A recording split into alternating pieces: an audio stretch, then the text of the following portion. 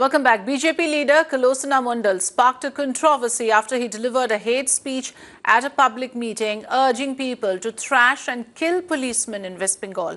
Mondal said that if people wanted work to get done, they should hit the policemen with sticks and sickles. And he added that instead of targeting Trinamool Congress, BJP workers should focus on the Bengal police. Quite shockingly, Mondal also claimed that in the state there has never been any consequence for killing policemen. BJP's Bengal leadership is yet to issue a statement on these comments. তাই আমাদের যে এই police আছে, এই পুলিশের কাছে আপনি ভালো কিছু পাবেন না এই পুলিশের কাছে যদি কিছু পেতে চান, তাহলে আপনাকে ডাং চাই, হেসো চাই, তাহলে ওরা আপনার সব কাজ করবে, নাহলে ওরা কোনো কাজ করবে না Tamal Saha joining us on the phone line. Tamal, yet another public representative asking people to go for the kill, making a provocative speech. Has this come to the notice of the authorities? Any action taken against this leader?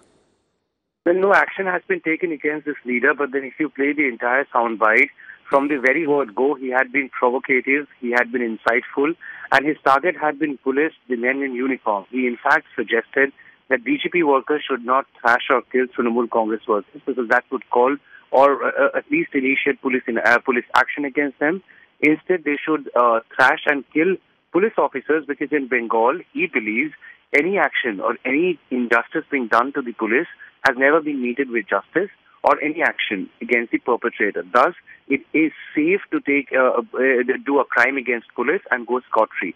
And that was the reason why he uh, urged upon people to hit police officers with sickles, with rods, with sticks, and in fact suggested that police are uh, are basically uh, they, they, do not really pay any heed to the opposition parties and uh, workers of opposition parties, and thus the best way to make them work or, or get some work done would be to harass them, to thrash them.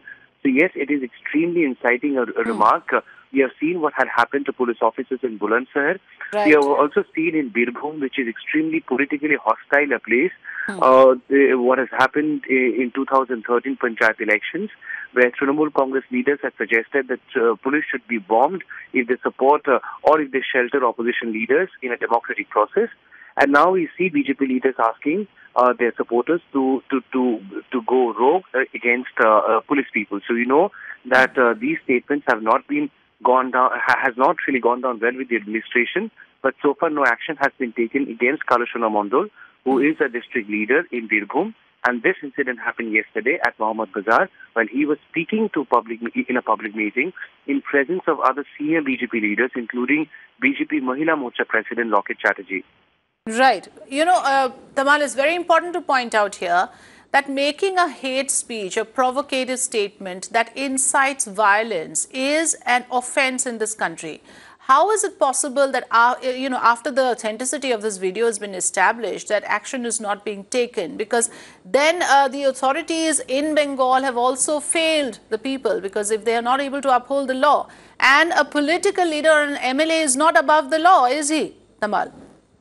Well, certainly, but then at the same time, because in run-up to 2019 elections, any action taken against uh, the opposition party would only be construed as state governments or administration's high-handedness.